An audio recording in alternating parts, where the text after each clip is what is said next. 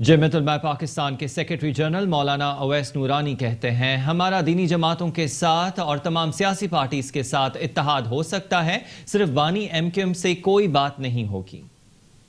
جمعیت علماء پاکستان کے زیر اہتمام مجلس شورا صوبہ سندھ کے رہنماؤں کا اجلاس طلب کیا گیا۔ اجلاس میں مرکزی جنرل سیکرٹری مولانا اویس نورانی نے تنظیمی پالیسی پر سختی سے عمل درآمد کرانے پر زور دیتے ہوئے کہا کہ ہمارا تمام جماعتوں کے ساتھ اتحاد ہو سکتا ہے، لیکن ایم کیو ایم کے بانی گروپ کے ساتھ کوئی بات چیت نہیں ہو سکتی۔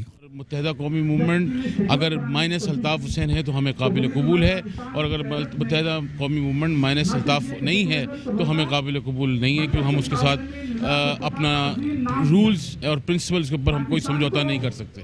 جبکہ مولانا اویس نورانی نے مزید بتایا کہ مولانا فضل الرحمان جماعت اسلامی سمیت تمام جماعتوں سے مشاورت جاری ہے۔ پی ایس پی نے اپروچ کیا تھا بذریعے وسیم احمد صاحب کے اور مصطفیٰ کمال صاحب نے کہ ہم یہاں ملنے آنا چاہتے ہیں آپ کے پاس تو کوئی وقت بتا دیجیے، تو میں نے ان سے گزارش کری کہ ٹھیک ہے میں کچھ تین روز کے لیے تو یہاں موجود نہیں تھا۔